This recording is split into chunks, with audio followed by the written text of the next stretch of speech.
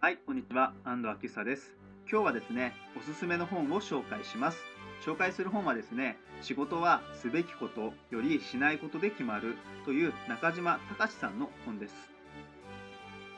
で、この動画を見るとわかることはですね、まあ、しないことを知ることによって、時間の効率化や考え方を変えることができます。またですね、あなたに合ったこのしないことを見つけるヒントになります。では、行きましょう。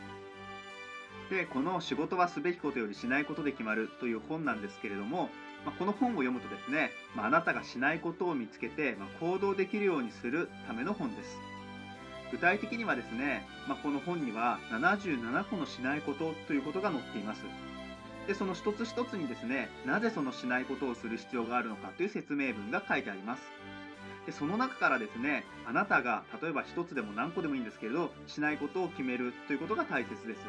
77個もあるとですねあなたが納得をしてあなたに合った、まあ、しないことっていうのは絶対1つはあるはずですのでぜひその77個の中からですね少しでも多くあなたが納得をして、まあ、しないことを決めてもらえるといいと思います。でそれを実行するとですねあなたの中にある考え方の変化や、まあ、時間の効率化につながると思います。ですから、まあ、しないことを決めることでですね時間の効率化できるだけでなく考え方も変えることができます。そういう本です。ではですね、まあ、このしないことの例を、ま少しだけ紹介します。でここでは77個のうち、ま2つ紹介しますね。まあ、1つ目、まあ、他人の悪口を気にしないという、まあ、しないことがあります。で、これはですね、まあ、本の中で中島さんは、まあ、他人の悪口というものはですね、あなたに対する嫉妬なんですよ。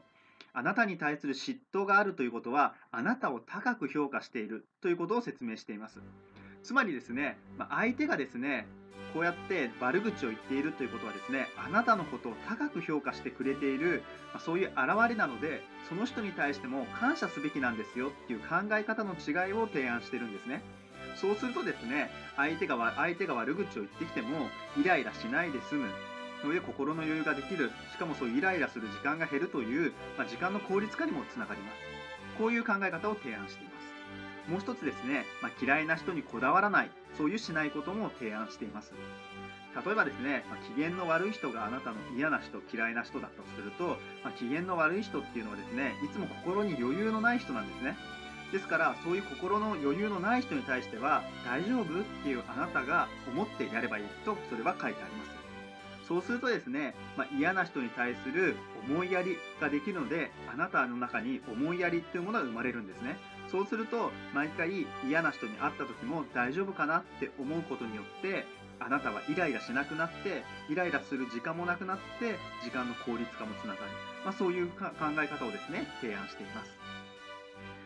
なのでですね、まあ、しないことを実行することによってですね、まあ、時間の効率化と考え方の変化も起きるんですね。でそういうですね、小さい考え方の変化をですね、何個も何個も何個も積み重ねていくとですね、あなたはですね、いろいろなそのやらないことっていうものを何個も何個もマスターしていきま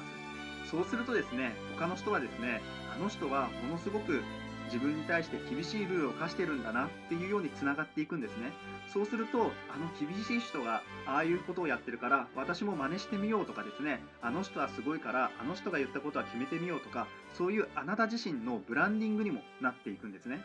ですから、この本を読むとですね、まあ、しないことを実行できて、そしてあなた自身が時間の効率化、考え方も変化もできます。そしてそれをですね、他人にそうやってですね、気づかせることによって、あなた自身も変化していってブランディングになる。そういう風な本ですので、ぜひ興味のある方は読んでみてください。